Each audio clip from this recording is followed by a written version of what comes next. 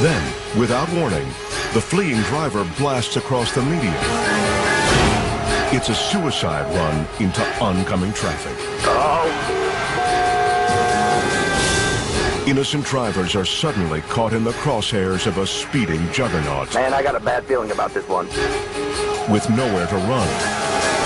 Ah, this is bad. This is bad.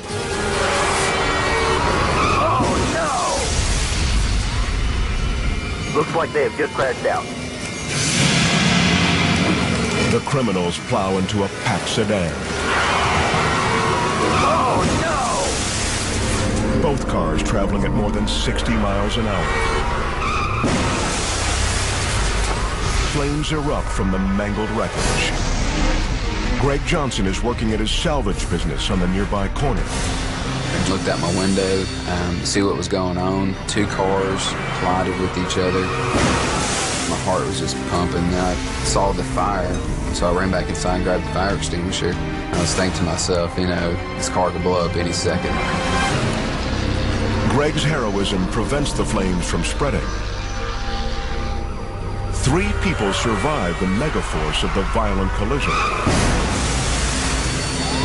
The carjacker is one of them. But his female accomplice doesn't make it.